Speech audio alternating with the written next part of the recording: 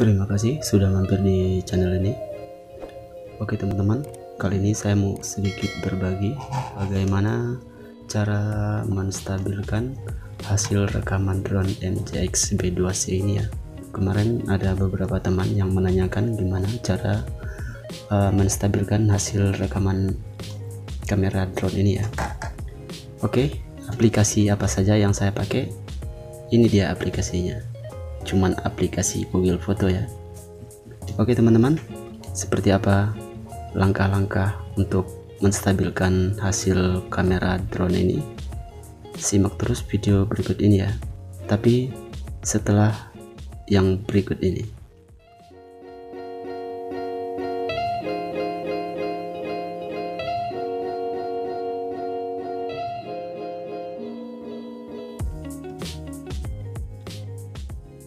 Oke teman-teman, sekarang kita akan langsung uh, ke tutorialnya bagaimana cara menstabilkan hasil rekaman drone MJX B2C ini ya ataupun drone-drone yang lain teman-teman nanti juga bisa menggunakan cara seperti ini ya.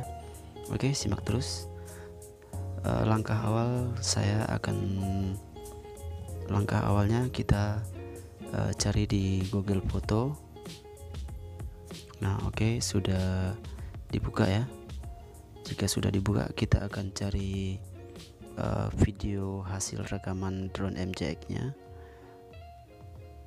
nah kebetulan di sini saya sudah siapkan bahannya ya. Ini sudah masuk di aplikasi Google Foto sekarang kita masuk video yang akan distabilkan. Nah ini dia. Oke sekarang kita pilih yang durasinya 18 detik ya ini saya sarankan juga uh, buat teman-teman uh, kalau durasi videonya sekitar 4 menit ataupun lebih itu cukup memakan waktu ya. Jadi teman-teman harap bersabar untuk menstabilkan hasil rekamannya supaya lebih memuaskan ya. Nah ini dia. Ini adalah tampilan video aslinya sebelum distabilkan ya Nah, sekarang kita akan masuk ke tahap penstabilan video ini.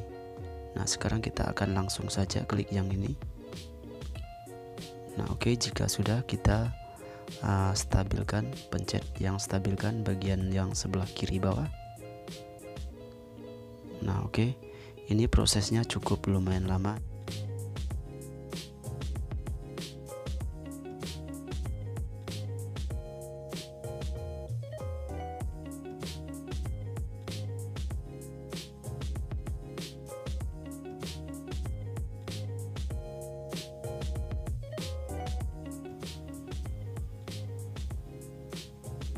Dan cara ini teman-teman juga bisa uh, gunakan hasil kamera drone teman-teman drone apa pun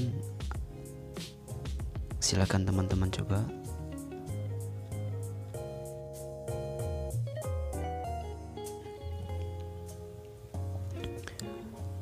Nah, oke okay, teman-teman, ini sudah distabilkan. Kita coba tes. Kita lihat hasilnya. Nah, oke okay, teman-teman, seperti ini hasilnya dibandingkan yang tadi sebelum distabilkan dan hasilnya seperti ini dan cukup lumayan stabil ya. Nah, oke. Okay. Jika sudah, teman-teman nanti tinggal simpan. Sekarang kita akan lihat perbandingan sebelum distabilkan dan sesudah distabilkan. Oke. Okay? Semoga video ini bermanfaat buat teman-teman semua. Wassalamualaikum warahmatullahi wabarakatuh.